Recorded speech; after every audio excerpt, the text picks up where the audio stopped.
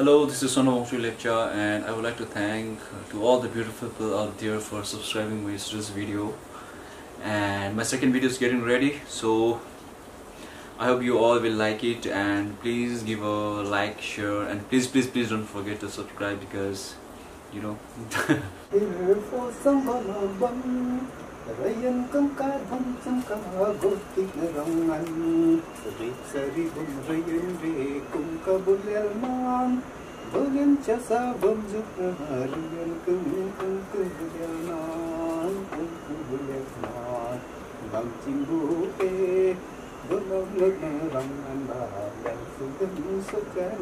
non.